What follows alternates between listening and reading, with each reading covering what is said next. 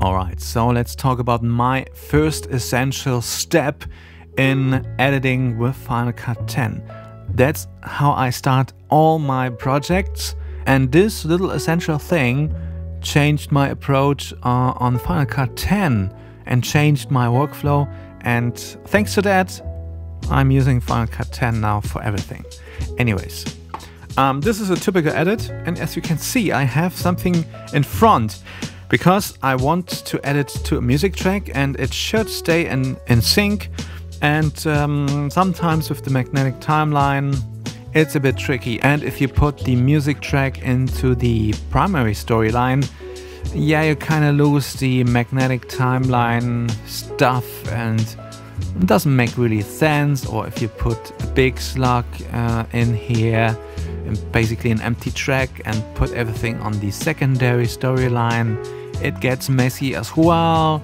So it is it is kind of nice to have this here. By the way, I noticed I did not set this to music. Anyways, so this is the essential thing. Most of my projects are a music track and editing to this, um, like here. I mean, you get the idea.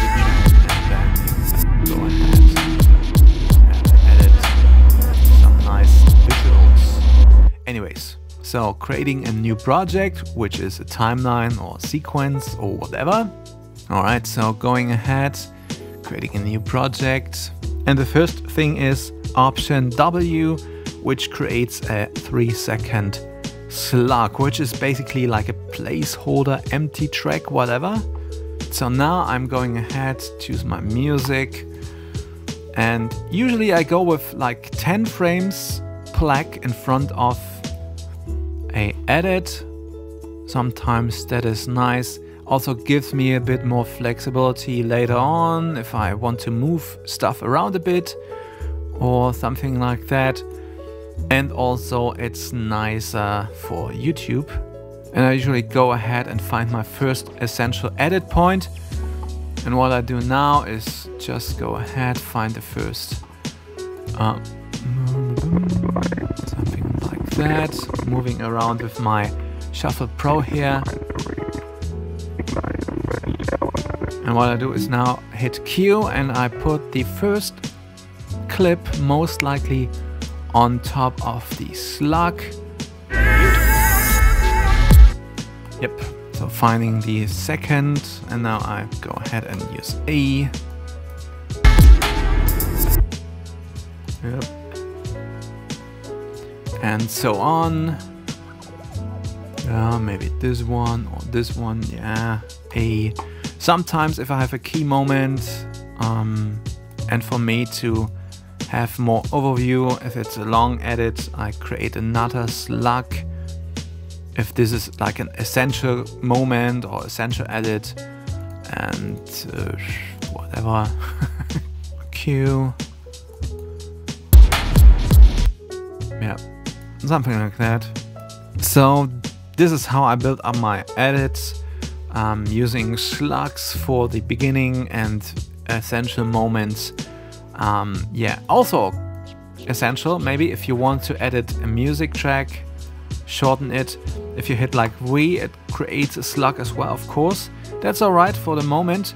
What I do now is usually select both clips and create a new group and that way I can delete this slug and now it stays here and I can edit basically inside a music timeline. Um, you get the idea and now I even could do a little transition here and stuff like that and I don't have to worry about um, all this here and doesn't create a slug and always keeps uh, staying on this first slug here and it's synchronized. Yeah, that way I could also go ahead and change the end, delete this, stuff like that, as you wish. Um, yeah, so this is my essential first step. I always start with this slug on the beginning and most likely I do all the music editing at first as well. So I have it in this uh, secondary storyline group thing, so to speak. Alright, that's it. If you have any questions about Final Cut 10, let me know in the comments. Thanks to Chris Fenwick from Final Cut 10 Grill. I mean, I'm not quite sure. I heard that tab with the slug back in the days, like two years ago, maybe, maybe three. And since then, I'm using this, and since then, uh, yeah, uh, Final Cut is my main edit tool now, especially for clips like that.